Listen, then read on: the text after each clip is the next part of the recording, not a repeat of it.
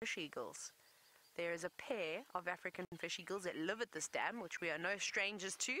We know them very well.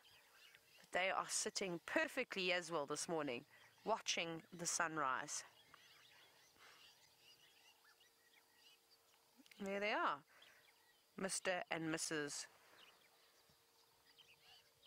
African fish eagle. This is fantastic. Now all we need, but I'm being quite greedy now, is for them to swoop down and grab a catfish. Hey David, so you can get the silhouetted shot of them flying in towards the sun. it would be so dramatic and so lovely. We can only wish and dream though, if something like that could happen. But the sights, the sounds, the everything at the dam this morning is just really unbelievable. I wish every single day would be like this. Now the golden glow is really hitting the water and the colors that are coming off of it is magnificent. You'll see soon those hippos that we had underneath the tree, they're going to be hit by that golden light